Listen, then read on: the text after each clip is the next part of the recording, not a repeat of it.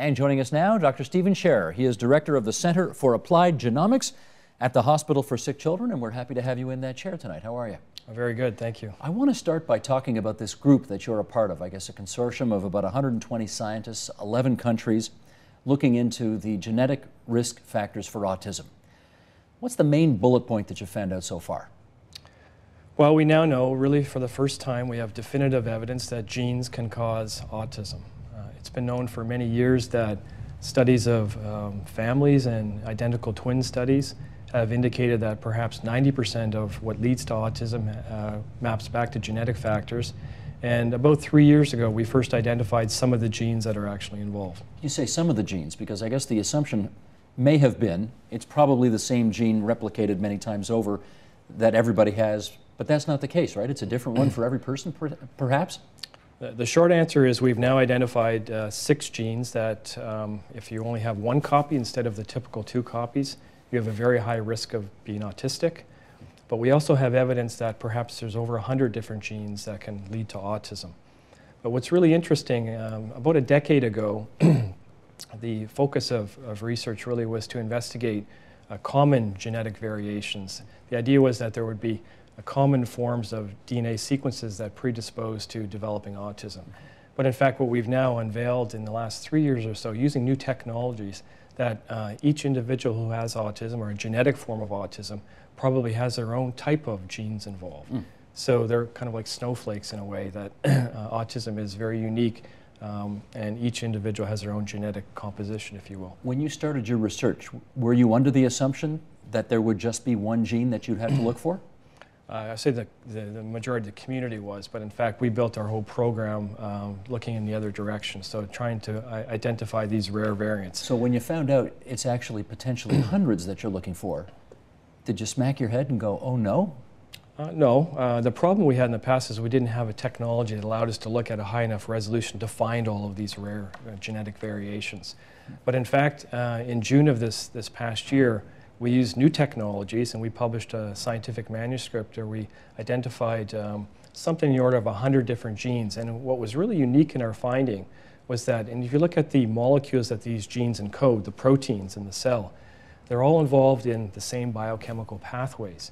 So in fact, while you can have a unique genetic profile, if you will, the genes that are making proteins are all working together. So in fact, there may be common targets for therapeutics, which is very exciting. We're, we're, taking a head and shoulder shot of you right now, and I just wonder if I could ask uh, Michael, can you just open up the shot a little bit, get that lapel pin, and then zoom in on it? Because everybody at home is going to be asking me, why is he wearing that puzzle piece on his left lapel? And uh, obviously, you're looking for the missing piece of the puzzle. I'm guessing that's what it's about, right? We're looking for the missing pieces of the puzzle. Missing yes. pieces. Yes. Uh huh. And you're going to wear one of them on your lapel and remind yourself that that's what you're about every day. That's right, yes. Gotcha. Okay. What has your research revealed about the extent to which environmental factors, not genetics, plays into autism? Well, so, so far we can account for the genetic basis of autism in about 15% of individuals who have a diagnosis. Okay, so if you take 100 people off the street who have an autism diagnosis, we can identify the cause in about 15% of those cases. Um, with respect to environment, we don't have that many uh, examples where we know specific environmental agents are involved. There are some um, uh, examples of thalidomide mm -hmm. and valproic acid being involved, uh, birth complications, but perhaps this accounts for less than 1%. But once we identify the genes, uh, we have targets to do these experiments to see which environmental agents or toxins may influence these genes. Mm -hmm. And I think we'll be able to step back and more rationally define really what the role of genes and environment and how they interact with each other. But genetics at 15%, I'm guessing you think that's, that's a pretty low number. You'd like that to be a lot higher. Well, we're just scratching the surface. This is what we can see right now. As our technologies get better and, and we're really poised to that point now, we'll be able to probably account for 80, 90, 80 to 90% of the causes with genes. Within what period of time? We're looking at five years. The uh, technology now allows us to sequence the entire genome. If you remember the Human Genome Project, it cost about $3 billion to generate a consensus sequence of a group of individuals. We can now do that experiment in my laboratory for $12,000. Hmm. Uh, by the end of next year, we're anticipating it will be $4,000, and we're embarking on a project to sequence uh, the DNA from 1,000 individuals with autism. You must deal with parents of autistic children all the time.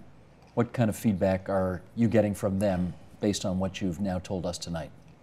So we study the DNA from individuals with autism. I, am a scientist, and we, we try to interact with the families as much as we can because they're the, the best people to help us focus the questions that we're asking, the scientific questions. But we're also finding answers for the questions that they're asking us.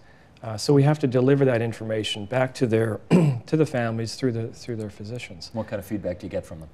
So far, it's all been positive. The, the families want answers. They want information. They want um, data that helps them make decisions about their children and their lives. And we've been very fortunate that in the last few years, with these genetic breakthroughs, we can start to provide some answers. Here is the kind of tough ethical question that I know you have to think about in your job and that lots of people think about. How concerned are you that somewhere down the road, companies will begin to develop uh, genetic screening tests that will conclusively indicate whether or not a fetus is likely to become an autistic young boy or girl, and that people will make family planning decisions, quote unquote, based on that information? Well, it's already happening now. Um, I mentioned the 15% number. There are technologies called gene chips or microarrays that uh, are run regularly in private sector and hospitals um, that do this type of testing. Now, most of the testing is postnatal. Uh, the testing is to, for confirmation, but also uh, for early identification, which is really, really critical. But certainly the same information can be used in a prenatal setting too. I think the, the, um, uh, the wording you use of absolute confirmation or prediction is that's the real trick here. Autism is very, very complex, and even though we have identified some of these autism risk genes, uh, often it's very difficult to predict what the outcome will be. Will it be severe autism? Where children have uh, severely um, disabilities mm-hmm. uh, versus something like Asperger's syndrome uh, or something in between. It's very hard to predict what the outcome will be. So today's tests are not very conclusive on that front. Uh, uh, well, they're not right now, and I don't know that they're going to get any better. We can we can give a good indication that if you're missing, say, one copy of this gene, you may have autism or something that looks like autism or a neuropsychiatric disorder. Uh, and this is very important, primarily for early uh, early prediction and, and, early intervention. Hmm. The, the, I've, you know, you've heard this argument with deaf people um, where they say we don't want to find a cure for deafness because there is a whole culture uh, around deaf people that would be lost if suddenly everybody could hear. Do you hear that in reference to autistic people as well? That we don't want to find out, you know, we don't want an end to autistic people because there is something special or different or distinctive that comes with being autistic. Well, absolutely. And, and uh, I think what, what, people really need to understand is, is autism is a collection of disorders. I mentioned there's hundreds of genes involved. It, it, looks like perhaps there's, it's a really a grouping of hundreds of different disorders that have a common clinical endpoint or endpoints. So when you talk about something that can have an outcome that's very, very severe, that's debilitating for the individual and the family, particularly the family, um, compared to something that is, uh, say, Asperger's syndrome. Some people think that Albert Einstein had Asperger's and, uh, you know, autistic children used to be called little professors. Mm. Okay, so when you're talking to uh, one end of the spectrum, it doesn't really apply to the other end of the spectrum. So we have to be very careful. I think communication is one of the core uh, uh, clinical definitions of autism. We also have to be very careful when we communicate the information to policymakers and families and, and funders, uh, for example. So uh, the short answer is I think there's no, there's no simple answer. Mm. You have to be able to deliver the information to the family, educate them, and then let them make the decisions. They're the ones who know how to best use this information. Can, can you break it down for us? Can you tell us of, of the people in, in this province or this country today who suffer from autism, what percentage would be you know, highly functional, very able to you know, perform routine tasks in society, and those who really uh, you know, have an extremely difficult time coping? So there's no simple answer to this. This is like a, every, everything in That's going to be autism. your answer to everything today. Well, no, the simple answer in autism is that everything's complex. Yeah, right. right. Um, but in fact, uh, I actually consulted on this topic this morning, and, and I, I think 50% or so uh, fall into the, the severe category, um, severe, what we call severe autism, whereas high functioning, uh, for lack of a better term, or Asperger's and um, uh, would be another 50%. Those numbers are changing all the time. There's really no comprehensive study yet, but I think that's probably a good estimate. And the 50% that are severe, uh, does that, and I mean, does that encapsulate everything from consistently banging your head against the wall to you know, lying motionless? I don't know. You tell me. What's the what's the range? Right. So, so the, the definition of autism is it's a neurodevelopmental condition that has uh, characteristic core deficits in three domains of function, namely communication, repetitive and stereotypic behaviors, and social interaction skills. Uh, but the, the range is, is quite, quite wide. Mm -hmm. I've heard one parent of an autistic boy describe autism as having a child stuck in their terrible twos, their worst terrible twos tantrum 24 7 and multiply it by 100. Hmm. Okay, so that's what we typically think of as autistic disorder.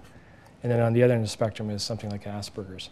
Um, uh, so, so if you fit these three core um, uh, domains of, of function, these, these characteristics, then you have a diagnosis of autism. Uh, I think what's really interesting is most of our statistics around research studies and prevalence frequencies are looking at this very stringently defined definition of autism, yet there are a lot of people walking around who have maybe one or two of these different aspects. And in fact, many people are quite surprised when they hear that. When we look at families, uh, in about maybe 20% or more of families, one of the parents have what's called a broader autism phenotype. So they have a kind of a mild form of autism. Uh, and then if you look out even beyond that, it's even more prevalent in the population. So all of our genetic statistics and data is derived at looking uh, at this uh, more uh, complex autistic disorder, so we call it. But uh, we're now initiating studies to look in the broader population to see what's going on at the genetic level. Now, hold that thought for a second because I'm going to go there in a sec. But just one thing that is not complex, I think, is the gender breakdown, right? It's overwhelmingly male, right? What percentage uh, right. so, men and what so percentage? So pretty much every study shows that it's four to one uh, male to female gender bias. Hmm. Okay. The Ontario government's just given you, what is it, eight million bucks to run a DNA scan on nearly every child diagnosed with autism in the province. Is that right? Yes, How's uh, that through, work? through well through a very uh, competitive peer review grant process. Uh, we, we I didn't won, mean to suggest otherwise. Yes, we, we won a, a, very generous grant from the Ministry of Research and Innovation, uh, which is going to put, I think, uh, Ontario at the, at, the, at the, lead in the research, uh, genetics certainly worldwide. And what are you going to do?